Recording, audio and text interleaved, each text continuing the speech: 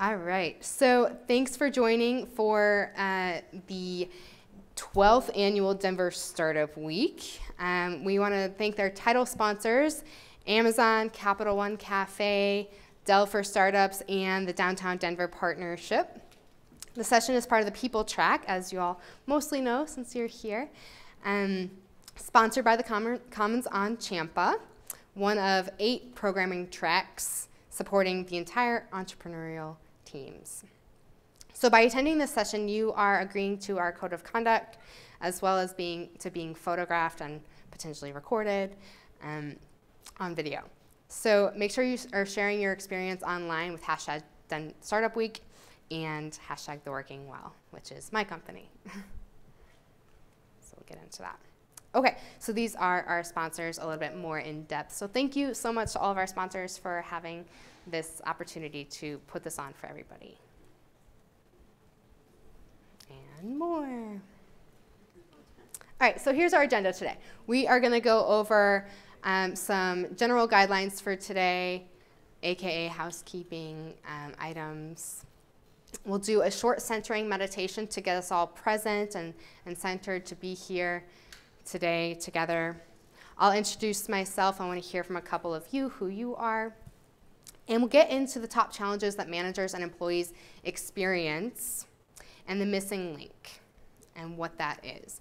I'll share my story and how I'm connected to hidden differences and the five pillars to creating collaborative and productive work teams.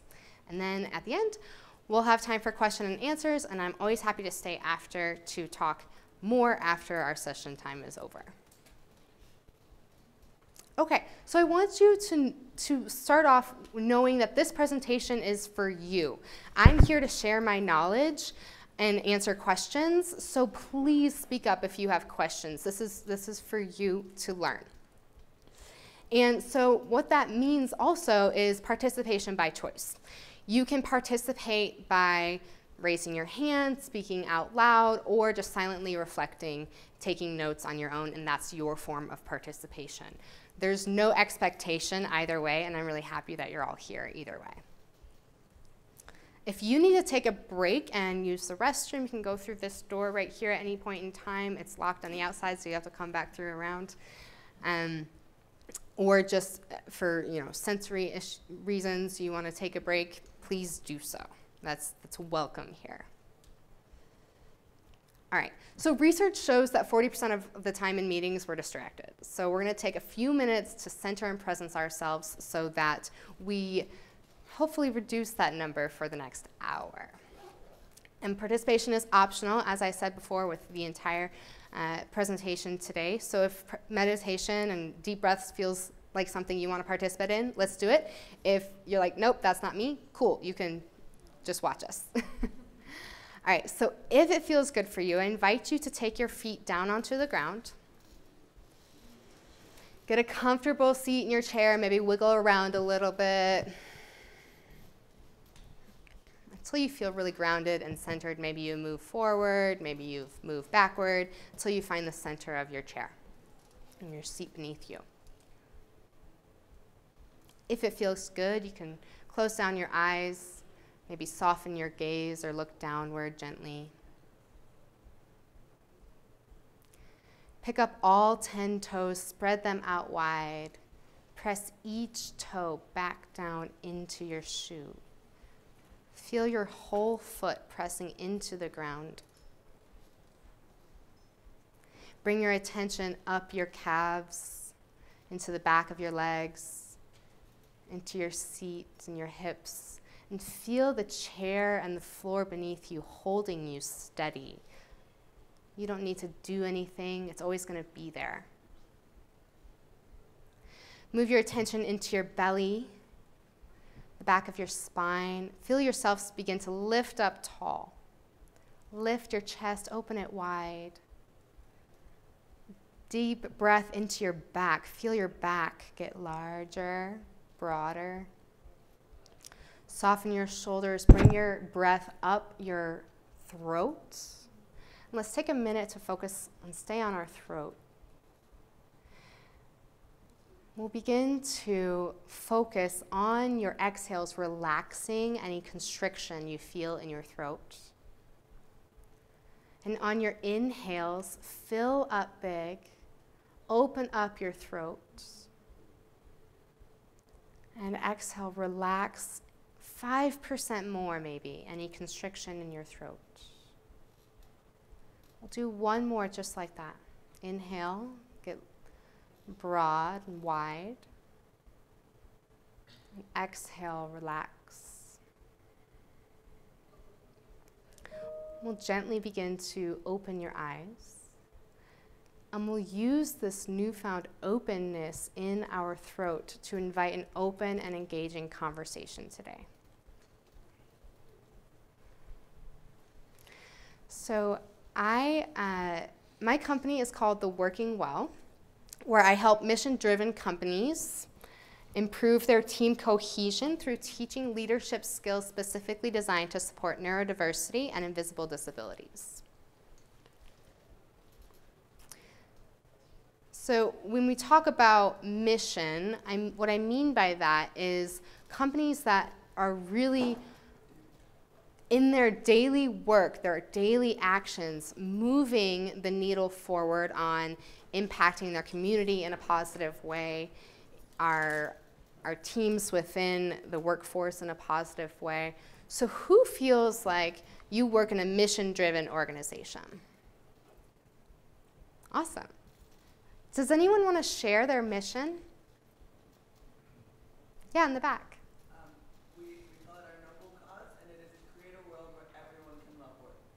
Where everyone can love work. Ooh, nice. You're in the right place. I, a lot of us probably have similar values. Yeah. Uh, we believe businesses create community change, and so business development should be affordable for everybody. Thanks, Jesse. we work with companies to expand their view of disability inclusion. Great. Amazing. Me too. All right. So, a little bit about me that I shared about my company. Now, about me, I am Jen again, and I have a bachelor's in psychology and a master's in organizational leadership where I focus on health and wellness and that's effect on leadership ability. And I also am a yoga and mindfulness teacher and survivor of multiple brain injuries. So, this last one is not how I typically introduce myself at parties or happy hours, but it's you know, relevant here, as you could probably imagine. And it's what brought me here to do this work. So I'll tell you more about my journey, how I overcame those challenges when we, when we get a little bit deeper. Okay, so what are the challenges that managers experience that I know that I can help with that are specifically related to team cohesiveness? I feel like I should say cohesion, I like that better. Productivity and employee longevity. First, we have the unnerving feeling that micromanaging is the only way to get stuff done. Anyone felt that before? Who can relate? Do you ever spend excess time and money on you know doing your onboarding process and, and micromanaging and, and feeling like you can never kind of let go? Having defensive or, de- or um, disengaged employees. This is something that I felt a lot in my, my previous team. Oh, these all say one. I edited it to put it into the Denver Startup Week template, and that's what happened. Oh well, it's fine. You guys can count. So, employees expressing that their needs aren't being prioritized. Who's felt that as an employee? I, I think everyone's nodding their head right now. Yeah, employees performing at lower productivity levels or than expected, or quiet quitting. Maybe you've been the manager feeling that from your employees, or maybe you've been that employee. Especially if your needs aren't being prioritized or being met, why are you going to put in the extra work to, to you know, do more than the bare minimum? And then lastly, a constant cycle of surprise resignations followed by replacement hiring and onboarding. This is, is really frustrating and it was really big during the pandemic, too, as I'm sure you all can relate to. And so not only is it just kind of suck when a lot of people leave and we have this turnover, but also it's expensive. So these studies show that around 90 to 100% of an employee's yearly salary is the turnover cost for an average employee. And then when you look at higher level executives, that can go up to 250% of the employee's salary. That's really high. So not only is it affecting our morale and productivity, it's also affecting our bottom line and our finances. So how have these issues affected you and your team? Who wants to share? Maybe you can talk about a, a, role that you're currently in or a previous role. Sometimes you might be here with a coworker and maybe you don't want to talk about your current role. Has anyone experienced any of these? And I'll go back so you can look at all of them. All the ones.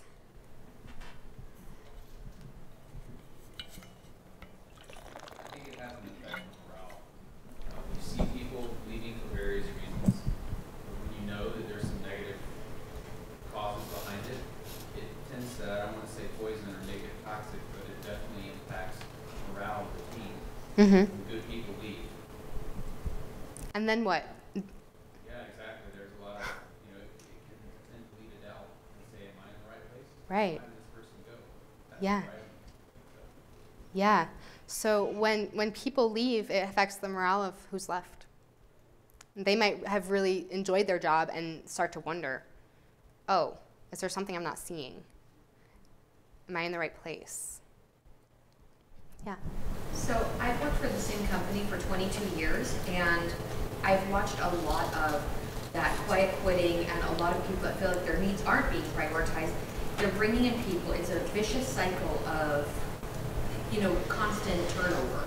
And the veterans feel like we're being leaned on so hard because there's so much turnover across the board and it's exhausting to the people that have stuck it out and they're actively always looking for other places to go. Yeah. And you have all that knowledge of everything, so people turn to you a lot. That's a lot of pressure. And you're probably doing a lot more than your expected workload to keep up with all of that. Yeah. Uh, I worked for uh, Starbucks about a year ago, and I only worked there for a few months, but after I think five months, I was the eldest employee that stayed there. the turnover rate was so bad. Wow. Wow. I don't know if y'all could hear, after five months, he was the eldest employee. Jesse. I think one of the things we don't talk about too with that is like when you're in that situation as an employee, your home life ends up being really lousy too. Like I spent most of the pandemic living with two people who met all of those criteria, and that was lousy for me. Yeah. You know, like that's hard. It's hard on the people who are experiencing it. It's hard on everybody around them who lives. Yeah, and and um, when you're in that situation and you come home and you're complaining about work all day, you know, my husband is in the room and he's probably nodding his head back there, like, "Yup, she complained a lot." yeah. Being afraid to talk to HR about certain things that you need as an employee with a disability, mm-hmm. worrying that if you say something, you're going to get fired. Yeah, it can be really scary and intimidating to talk to HR and, and not know, you know what's what's okay for me to say, what's you know I don't want anyone to look at me differently. Um, yeah, last one. I was in a scenario where I took over an operation where this was going on, and it was startling to me how long it took to change. Oh, like oh yeah. Once once I told people it was okay to fail, it was okay to make mistakes, they were still afraid for like the next 18 months. So it's it, this has a lasting impact. Change is hard and it takes time, and even when it's a positive change, people are kind of scared of it because it's unfamiliar. Yeah, this is great. Uh, we'll have more opportunities for discussion, so if you didn't get a chance, please um, next time do. Okay, so we talked about manager challenges. Let's talk about employee challenges. Feeling misunderstood or undervalued. Yep, lots of nods in the room. Not knowing how to advocate for yourself or express your needs. This one I hear over and over again that my boundaries are being crossed, but I don't know what to say. I don't want to get fired. And, and you know, when that job, that paycheck is essential to your, your daily living, it can be easy to just squash those needs aside and just keep working. These are all ones too. Dis disconnection or tension amongst team members. So it can feel really awkward You know, if you don't feel like you're valued or understood, not just by your supervisor, but also your peers, a lot of tension. And feeling overwhelmed by your to do list and maybe resentful of work, even in a job that you love. Who's ever felt that before? Any of these? Yeah. So these are happening even with well meaning, big hearted managers who value employee well being. So it's, it's not that we are, are, you know, just going out there being jerks to people and these things happen. These things happen naturally because we're missing something. And I'm sorry to start on such a low note, but I also want to normalize these things. If you felt any guilt or shame because you, you related to some of these, especially maybe more the manager challenges, I want you to know that that's okay.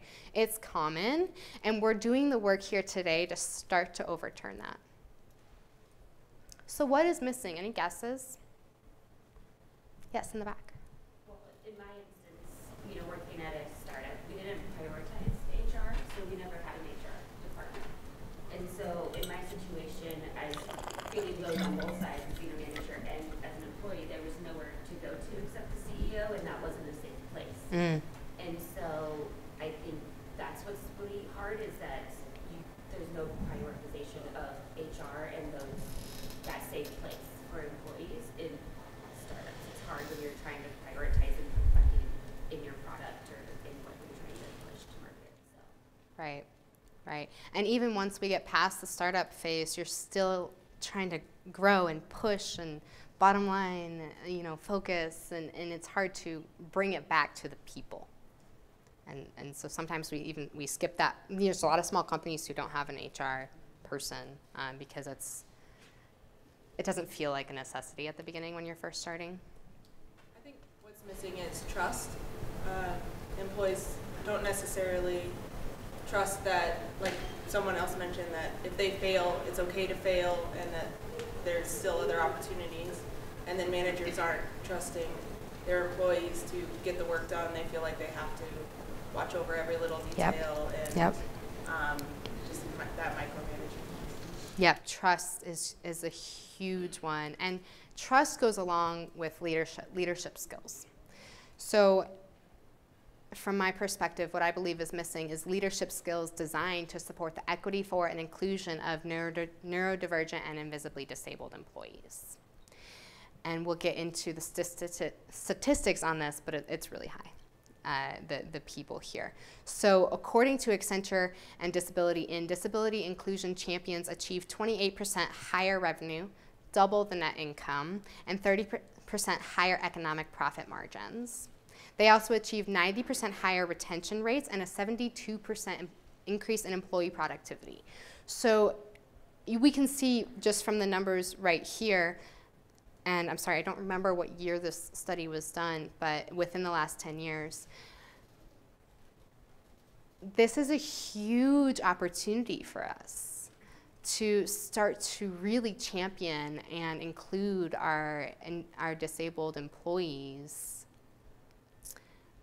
Because not only is it just like the nice and smart thing to do and it, and it addresses all of these challenges that we have already talked about, but also your company is going to succeed. Your, your profits and your retention and you know your growth in market share is going to increase when you focus on, on your people in these ways, specifically from this study. I'm sorry, I came in a few minutes late. Sure. Did I miss the definition of, of disabled? What- We're getting into that in just a minute. Nice. Thank you. Thank you. If anyone's curious on the study source, come up to me after and I am happy to share that with you on any of the studies that I share today. So I want to take a moment, pause, and reflect and ask what has stood out to you the most so far?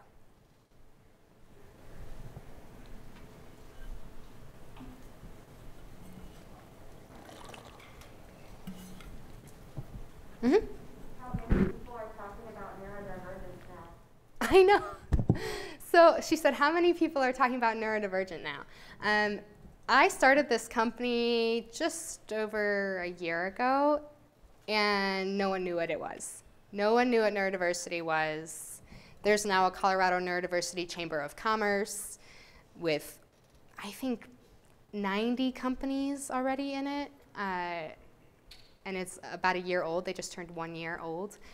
And yeah, it's really awesome. I love it because now I don't have to explain every time I say what I do. I just, people generally know what it is. I mean, I, will say that's not always the case. So if you're in this room and, and you haven't heard the term before, you are not alone by any means. It is becoming uh, more popular, though, of a topic. So we have another one over here? Okay, we'll move on. Okay, so how do we define these things? What is neurodiversity and invisible disabilities? Is anyone hearing one or both of these terms for the, for the first time today? Yeah, okay. Like I said, there a lot of people ha, um, haven't don't talk about these things. So if you don't know it, you are not alone by any means. Okay, let's talk about neurodiversity.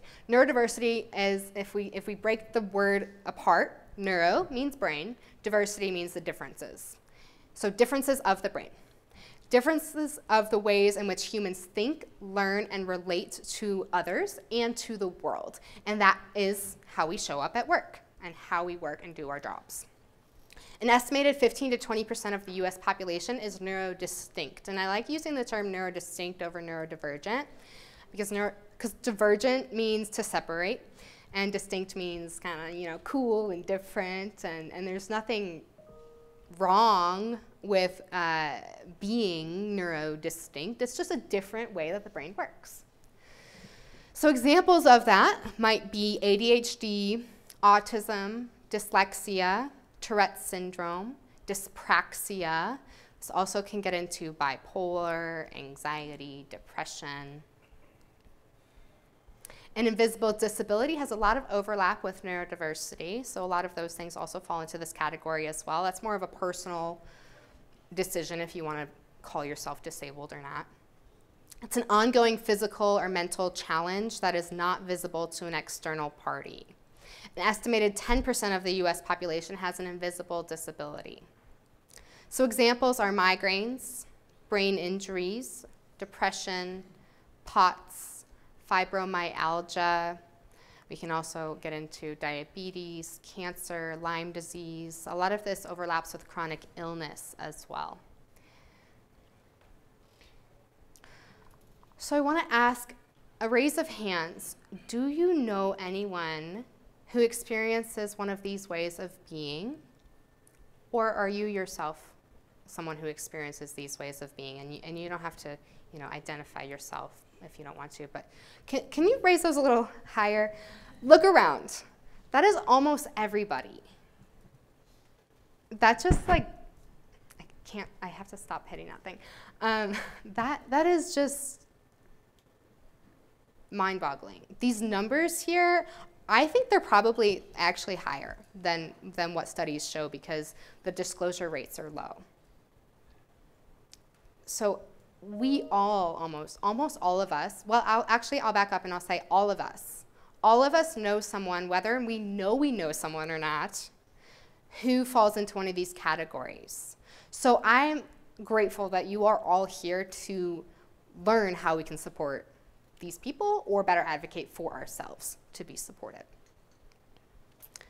So, according to a 2017 study by the Center for Talent Innovation, among white collar college educated employees, 30% of them have a disability. And this, is, this study is getting a little bit old by now, but it's still you know, a high relevant number that is, you know, it's not just going to go away in six years. The staggering thing is only 3.2% of these people self identify to their employers.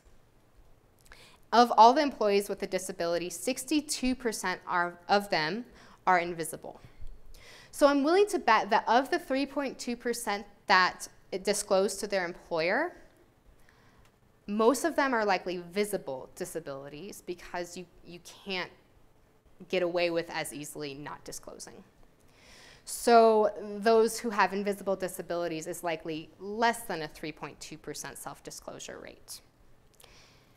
And I'm not saying this because I think that we need to increase that disclosure rate. People's business is their business.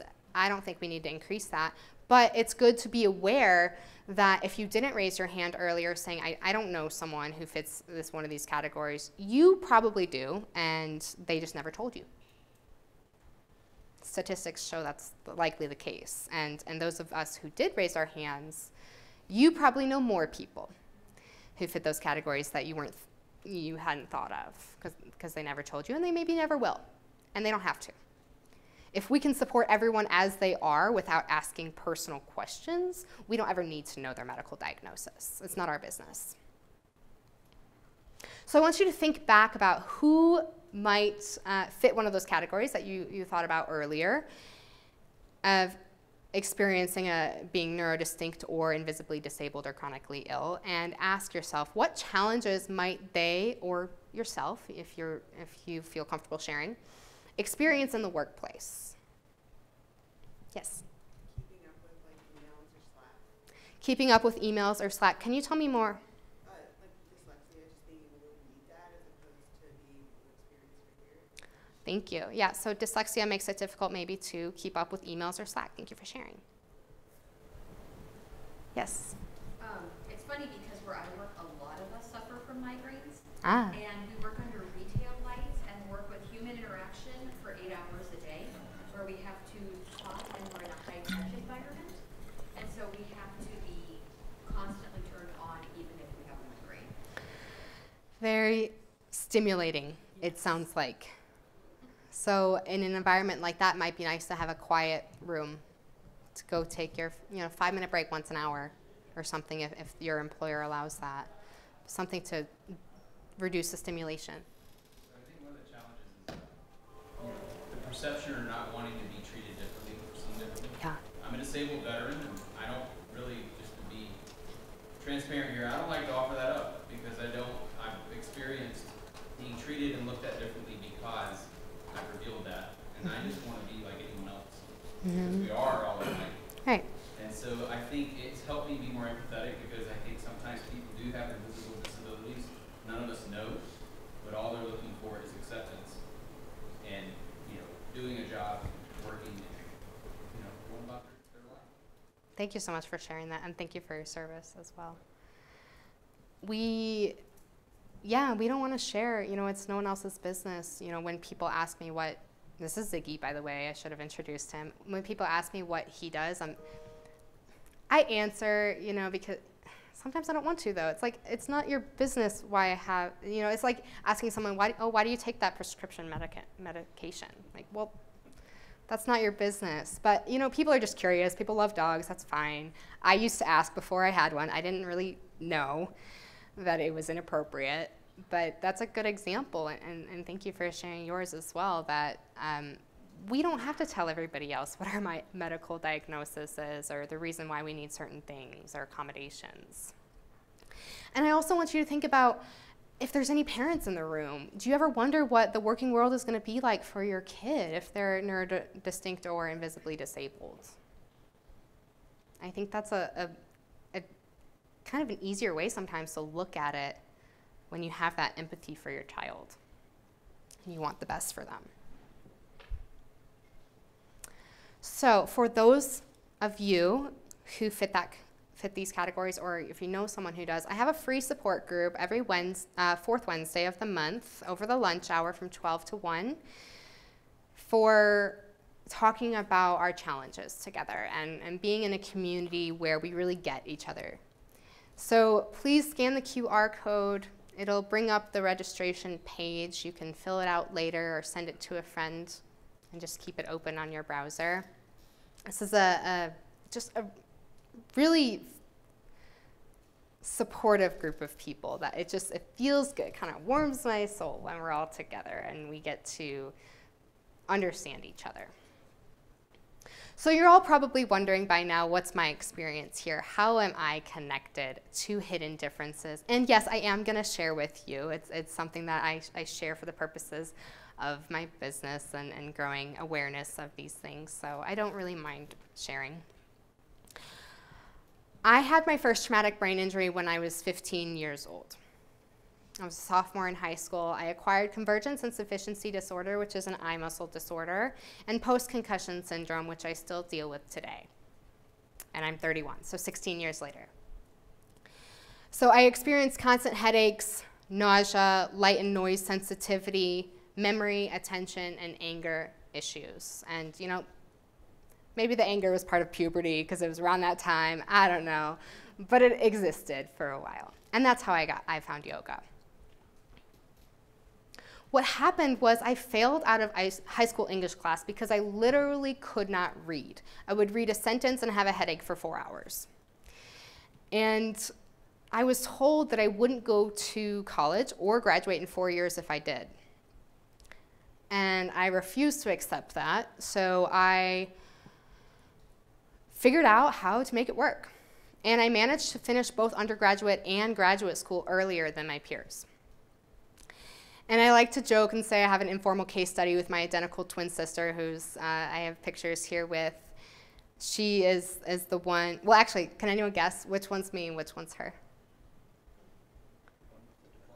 The, yes, okay, not everyone gets that. I know it should be an easy question, but the one with the diplomas are me. Yeah, so um, I just like to showcase that we didn't, we didn't graduate at the same time, so we're not wearing our cap and gown at the same time, because I, I beat her. if anyone else is a twin, you know it's always competition in life. but the point is that you know it's it's kind of fun to look back and see like what would my life maybe have been like if I didn't have those brain injuries. What skills did my TBI teach me? Any guesses? Persistence. Persistence. Patience, resilience. Another one in the back? Oh, you did, okay. Self advocacy, yes, that's huge. Setting boundaries, which goes right along with self advocacy, yeah. Yeah. Draw on other skills that were not being uh, emphasized. Your other talents that weren't. Yeah, oh, yeah, yeah, yeah. Mm hmm, mm hmm. Yeah, bringing out my talents that weren't probably brought out as much before. Sorry, he keeps licking his leg, trying to get him to stop. Okay, so these are a few that I came up with. Complex problem solving, critical thinking, creativity, time and energy management, communication, self-advocacy, resiliency, mindfulness, mind-body connection, and self-awareness. So these are all skills that you can imagine to be really beneficial in business, right? So in fact, in 2016, the World Economic Forum flagged key skills that would define success in the fourth industrial revolution. And the top three skills that they defined were complex problem solving, critical thinking, and creativity, all of which strongly align with neurodiversity and invisible disabilities. It's not just me. So what did that look like in the workplace? I utilized my new skill set to solve complex problems, think critically, and have positive relationships with my coworkers and my team. Then I experienced two more TBIs in 2018, back to back, six months apart. So in the workplace, I witnessed how confused everyone was, how to deal with me and my needs that weren't new to me, but I hid them before and I managed them on my own before. And then they came flooding back to the point where I had to miss a lot of work, short-term disability, FMLA, all of that. And you know, I, everybody knew what was going on because I, was, I wasn't there. People are asking questions. So I felt really misunderstood and underappreciated for the effort I was putting in while experiencing all of these difficult symptoms. I needed regular breaks, a split shift schedule, which uh, from a job that was normally nine to five, I needed to split it into two, uh, two chunks throughout the day and take a two hour lunch break.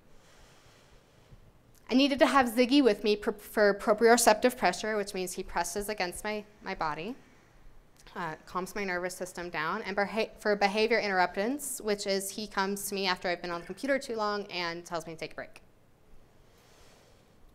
And I felt that I needed to justify and explain my needs since what I was going through was invisible and, you know, when there's an injury to the brain, no one else can see it. Even though ADA doesn't require me to justify or explain my needs, I felt like I needed to for the sake of my relationships at work. And the lack of emotional safety for me to share ultimately affected our team's culture, cohesion, and productivity. From a team that was, I loved, I loved working there beforehand, and, and turned into this really tense place. So I'm wondering, have you ever felt confused about a coworker and not know how to help them? What kind of team dynamic did this create?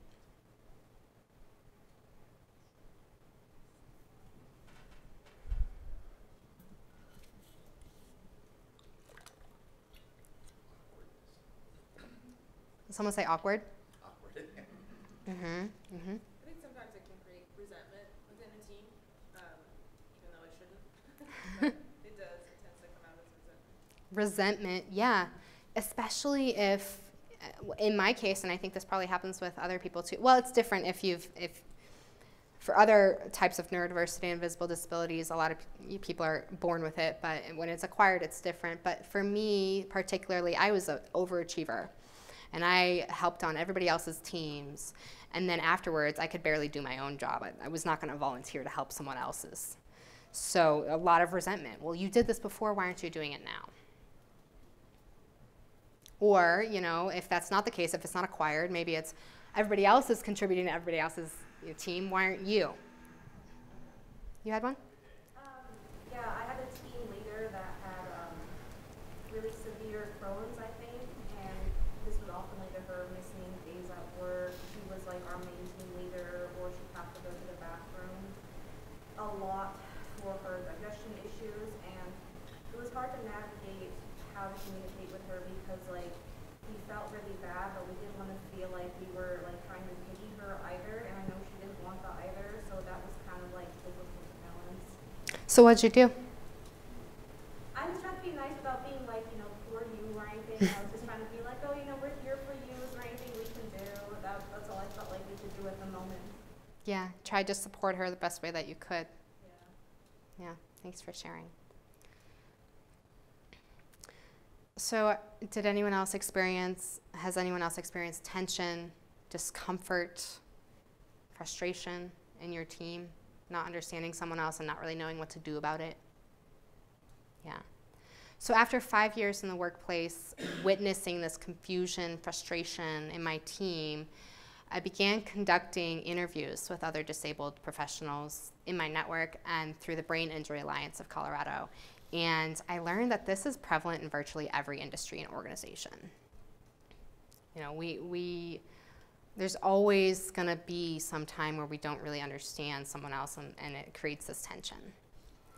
So there's a lot of neurodiversity recruitment efforts in some companies and organizations, especially in the tech industry. But what we're lacking is creating that culture within the team. Once we bring them on board, how do, how do we keep them there and support them fully?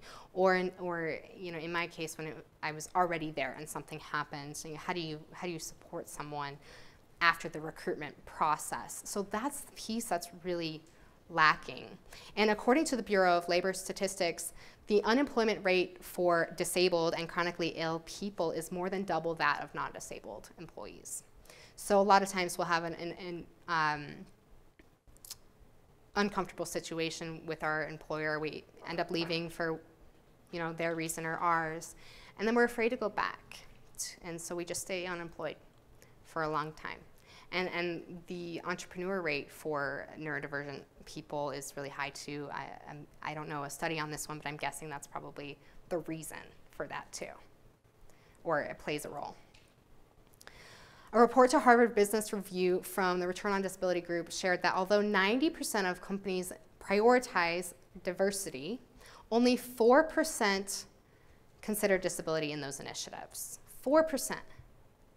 And the statistics that we shared earlier shared that so the, the working professionals with disabilities have a 96% chance. So the 30% of employees that are disabled have a 96% chance that they're not in a culture that's, that directly celebrates and capitalizes on their unique differences.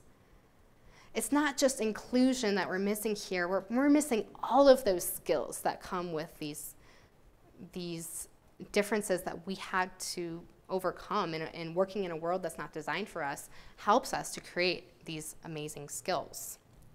So after spending a considerable amount of time researching this topic, I began to see how my unique experience in education could blend together to help companies create a more harmonious team culture and understand and, and bring acceptance and communication into their teams. So, in, I just said that. So, um, create more inclusion, equity, communication in their teams. So, I created a five pillar system to creating collaborative and productive work teams. So those are, the first one is leadership across the entire organization. Leadership is not just for managers. It is for everybody. It's for entry level employees, it's for interns, it's for janitors, it's for everybody. Strategic and kind communication. Hidden differences, inclusivity self advocacy skills. These are skills that are necessary for everybody in an organization to communicate, regardless if you have an invisible disability or a neuro- neurodistinct condition. Time and energy management skills. So, energy management is huge. We like to push ourselves, push, push, push. And our energy is drained by the time we get home after work.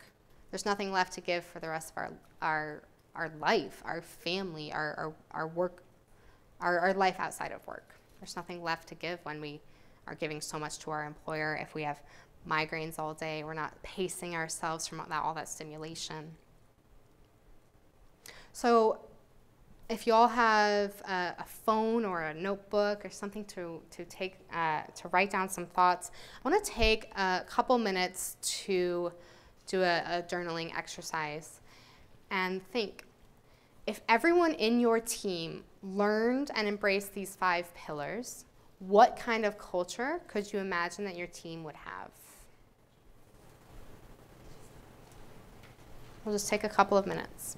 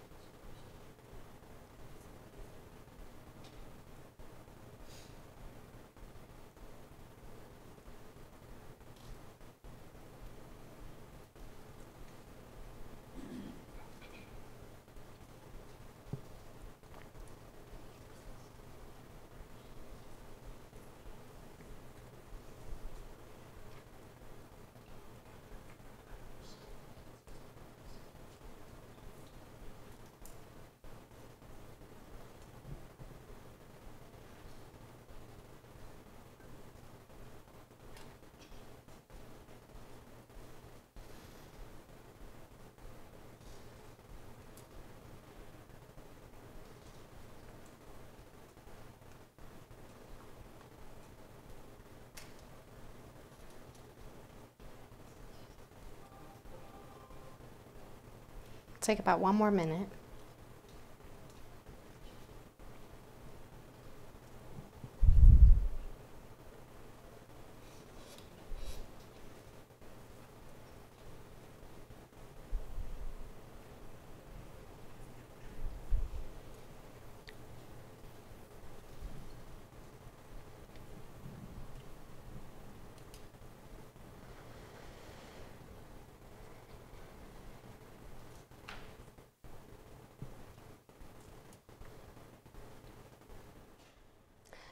As we're wrapping up our thoughts, would anyone like to share something they wrote?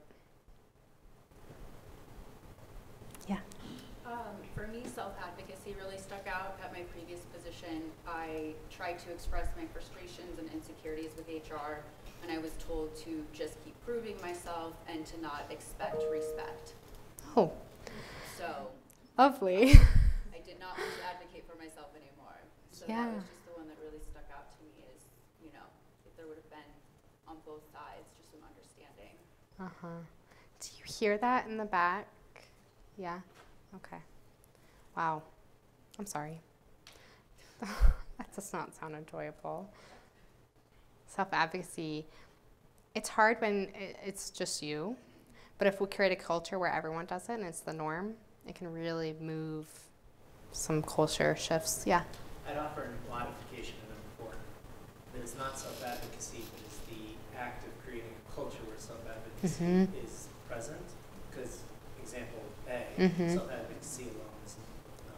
Right, right. It's it's creating the, the norm, the, the cultural norm to self-advocate that everybody does it because right when when just a few people do it, it's not going to work. So everyone really needs to learn these skills together. I think underlying a lot of these is a little bit of self-awareness as well. Yes. Um, because, I mean, I've worked with people who should have been self-advocating, um, but weren't, and just created problems within the group. Mhm. And because I have children that are similar, I, you know, I could recognize what it was, but they weren't willing to talk about it and therefore allow people to accommodate it. So what did you do? How did you support them? A bit, well, I'm not at the company anymore, so that's. Okay. Yeah. Mhm. Safety. Safety. Yep.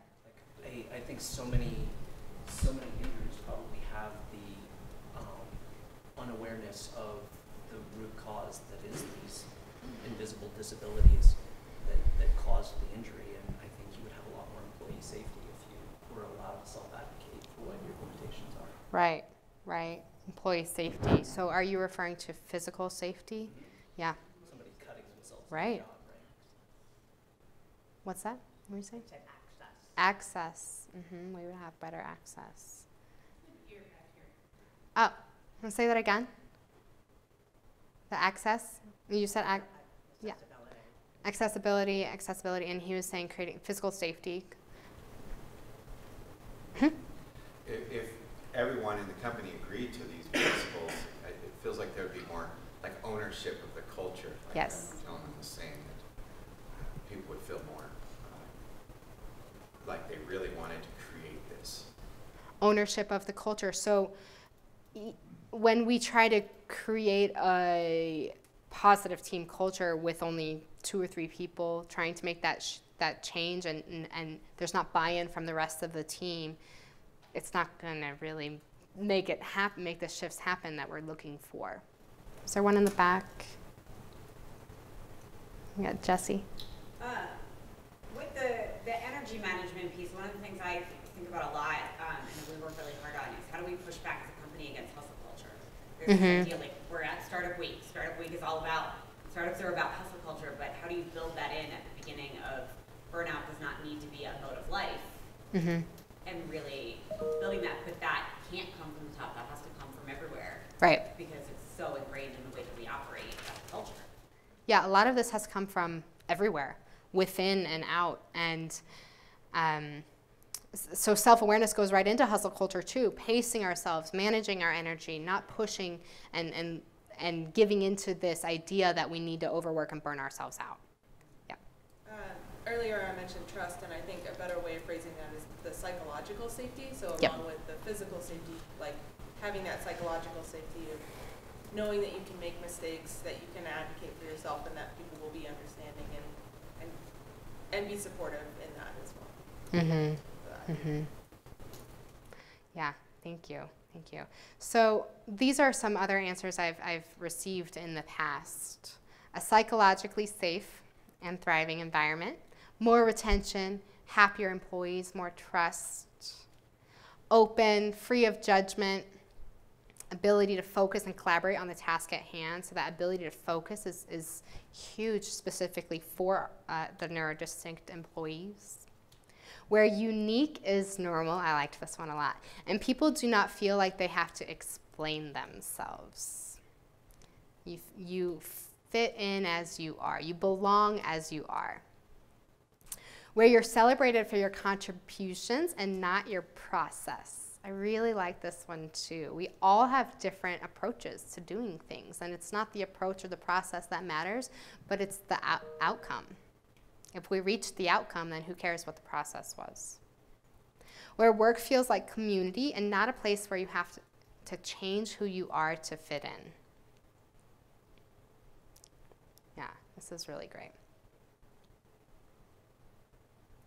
So I have a five-part leadership training series that is designed for all employees of an organization, not those who are traditionally called leaders, where we talk about these things. We have one workshop on each topic. We have leadership, communication, hidden differences, self advocacy, and energy management. And along with that, there's a private online community where we continue to network with like minded individuals in between sessions and beyond the program as well. And there's optional add-ons for discussion groups and one-on-one coaching sessions if people want to dig deeper and really integrate this work into their daily work. I also have free resources, an inclusive communication checklist where you can audit your own communication practices in the workplace at my website, which is theworkingwell.us. And I want to share that for accommodation ideas and options and ADA support, if you have not yet heard of askjan.org, I encourage you to check it out. It's a free resource. They provide free support. Uh, free, I, I believe they'll do consultations for free. And you can just get a lot of ideas, whether you're an employee who's not sure what accommodations are appropriate to ask for, or if you're a manager not sure what uh, accommodations you're allowed to give or, or should be saying yes to in your organization, here's a great resource to get some ideas. It's kind of an overwhelming website because it's got so much information on there. Um, but I encourage you all to look at it and just start, just brainstorm and just see what would I benefit from on this list. Maybe some employees would benefit from those as well. And again, I wanted to bring up my free monthly support group for those who identify as neurodistinct, invisibly disabled, or chronically ill. We also have caregiver, caregivers in that group as well. Um, there's a, a lot of work that, that is hidden, you know, for them that they, they go through as well that we support. So we have some time for question and answers. If you would rather email me your question, the email is listed here, jen with two n's at theworkingwell.us. And I would like to offer a complimentary consultation to anyone in this room. If you want to just ask more questions, see, does this really apply to my work? Can we, can we dig into this a little bit more? I'm curious and I just want to talk. Let's, let's talk and see. Um, so you can scan the QR code to schedule that and learn, learn more at my website as well, which is again listed theworkingwell.us. So what questions can I answer? Yes? So for your company, how do you market yourself to these other companies that need to learn about neurodivergency and invisible disability? What do you do to market yourself to? How do I market myself was the question. By doing stuff like this. This is my marketing. So I do, I, I, I, try to speak as, as much as I can a couple times a month, and as well as, as being involved with the Colorado Neurodiversity Chamber of Commerce, that kind of flags all, and, and all the companies who are already interested in this stuff, so it's a great network. And I, I'm partnering with them to offer my program for their members right now, so um, that's how. Mm -hmm. Yeah. How do you help uh, remote employees who may not feel confident um, voicing their concerns or their diversities?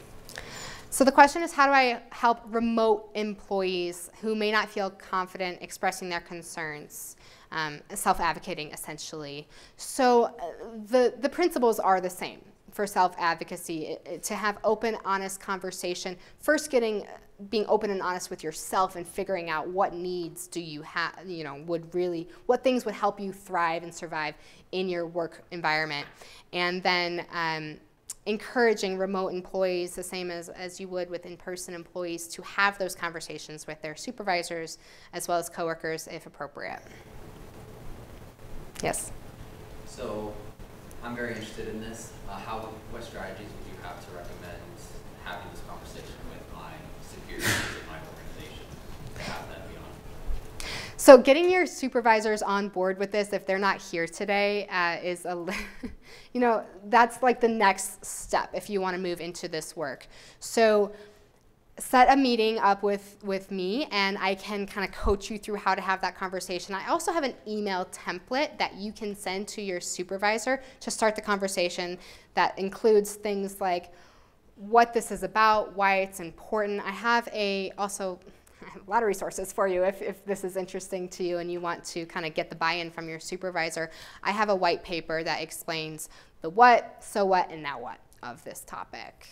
Yeah, Jesse. Um, shameless plug for me on that. Um, if you want to know how to build some of these into your hiring process or get your bosses to build it into their hiring processes, Mhm. I'm doing a presentation on that on Wednesday Oh. from 10:30 to 11:30. Um, and I, Jen is awesome. because Jen uses words like neurodivergent and inclusivity, inclusivity, and all of that. And I don't. I say this is how you get better candidates. And so if you have a boss who is very like, no, I don't want all that inclusivity nonsense, great, let's talk about how you can get better, more reliable candidates who think better. And it magically does a lot of these things. Yeah, Uh, that's so true. so yeah. Thanks, Jesse. So Wednesday, 10:30 in here? Uh, I think it's in here. Yeah. Probably if you're on the people track, yeah, in here. Um, Wednesday at 10:30, learn about recruitment and bringing these amazing employees into your workplace. What other questions can I answer? Bye, thank you.